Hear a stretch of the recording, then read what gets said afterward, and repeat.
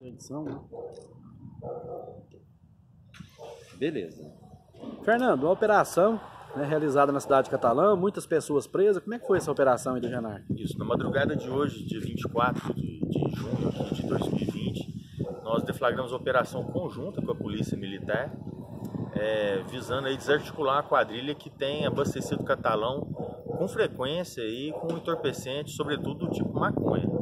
E conseguimos aí êxito em assim que as pessoas estavam adentrando na cidade, próximo à, rodovia BR-050, nós conseguimos realizar a abordagem policial e localizamos quatro pessoas em um veículo, três homens e uma mulher, com uma grande quantidade de entorpecentes, aproximadamente 12 tabletes de maconha, foram conduzidos todos aqui para a sede do GENARC e serão autuados aí pelos crimes de tráfico de drogas e associação para o tráfico.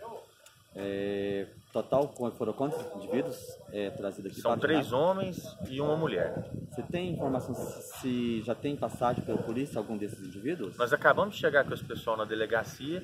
É, alguns já são velhos conhecidos, nós vamos levantar aí com certeza as passagens de cada um, mas o trabalho está iniciando agora, né? Nós estamos aqui, são quase duas horas da manhã e vamos fazer o procedimento de flagrante aí dos quatro, como eu disse, pelos crimes de tráfico e associação. Eles vão, ser, vão responder aí a uma pena que vai variar aí de 8 a 25 anos de reclusão.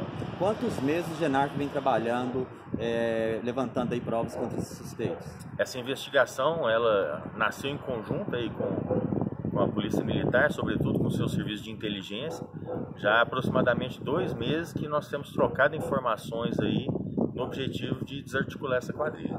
É importante a parceria com a polícia? Sem dúvida alguma. A Polícia Militar de Catalão nos presta aqui sempre um grande auxílio.